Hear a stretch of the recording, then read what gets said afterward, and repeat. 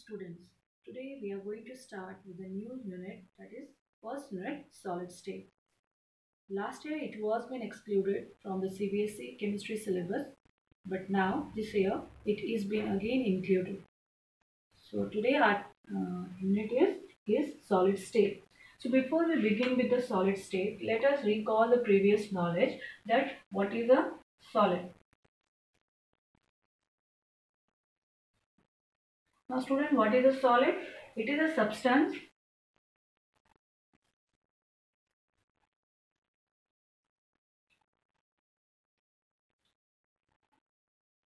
which has definite shape and definite volume. This is your previous knowledge that any substance which has got a definite shape and a definite volume will be known as solid. Now here we can take an example of any metal or a salt here, sodium chloride, a non-metal like phosphorus, sulfur. They all comes under the solid. Even plastics, rubber, they are all solid. Now the solid, if you go through the kinetic theory of molecules, so we will consider now that solid, the constituent particles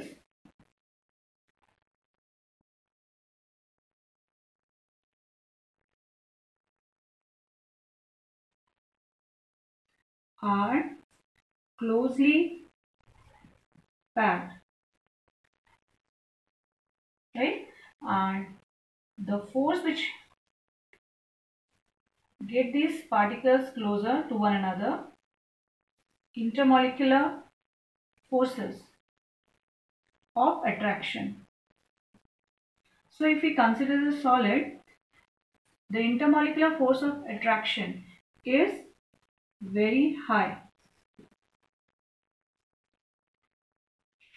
Now this intermolecular force of attraction is very high because the intermolecular distance or we can say space between the particles so the constituent particles is negligible or is very very small right? So we can say that the force of attraction between the atoms or the molecules eh, of a solid is very high as a distance between them is very very less.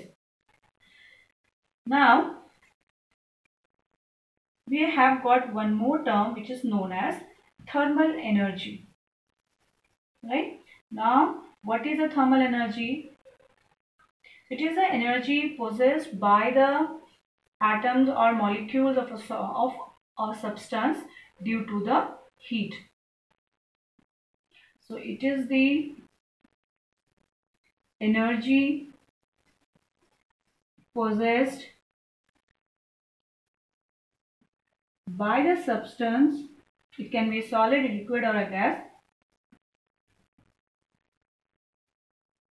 due to heat. Whenever it is been heated and is been heated or the it gains the heat from the surrounding. And what does it cause? It causes the thermal motion. Right? It causes the atoms molecules of a substance to move from its position.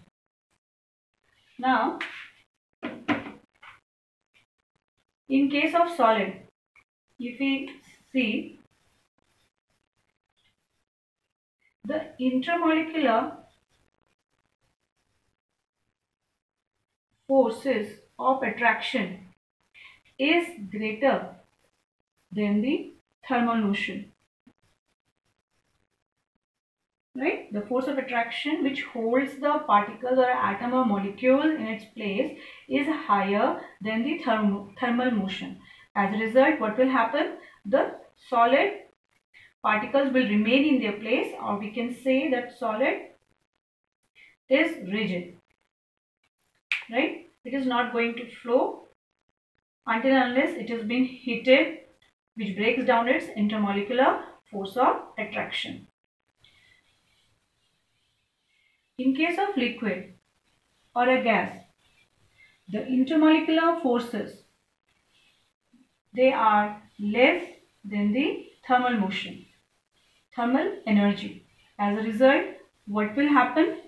The molecules will just overcome the intermolecular force of attraction and they will start to flow. Right? Now, the characteristics of solid. After going through a definition and the arrangement, we'll come to the characteristics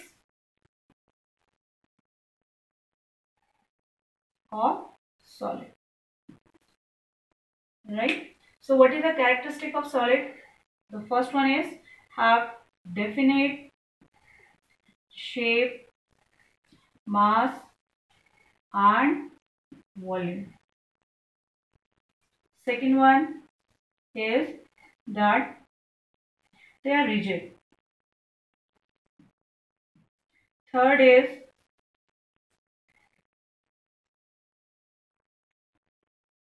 shows diffusion to less extent if we compare it with the uh, liquid or gases they are almost incompressible.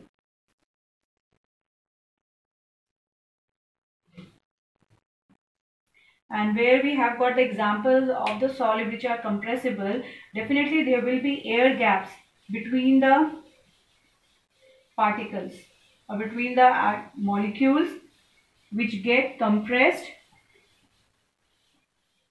when the force is being applied. So they have got definite shape, mass and volume, rigid, shows diffusion to less extent and almost incompressible and have high density. If we compare it with the so liquid or gases, they will have high density. You can mention few other characteristics also in your class notebook along with these.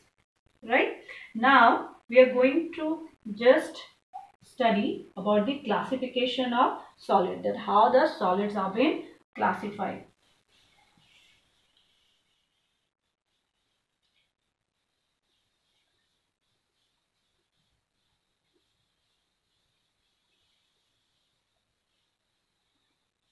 Okay now i think definition is clear.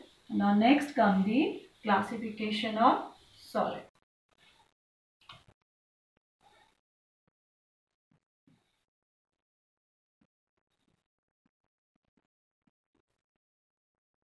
classification. So depending upon the arrangement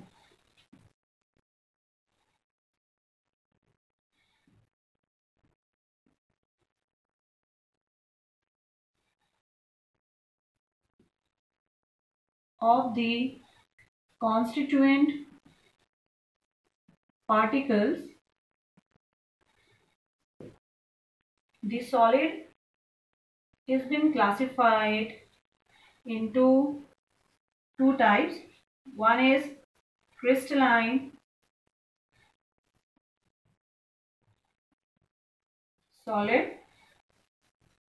Another one is amorphous solid. So we have got two types. One is crystalline solid and another is amorphous solid. Now let us first take the example that what uh, example of crystalline solid. So we can take any metal here, iron, copper or NaCl, KNO3, sulfur, phosphorus, they all belong to the crystalline solids and they are known as the true solid. The crystalline solid are known as true solid. Amorphous solid, we have got the example glass, plastics, rubber, quartz glass, and these are known as pseudo-solid or super cooled liquids. So what uh, so solids have been divided into two types crystalline solid and amorphous solid. We have taken the few examples from our daily life. Iron copper NaCl potassium nitrate sulfur phosphorus. These are the example of crystalline solid and they are known as a true solid. Amorphous solids we have got glass plastics rubber quartz glass and they are known as pseudo solid or super cooled liquid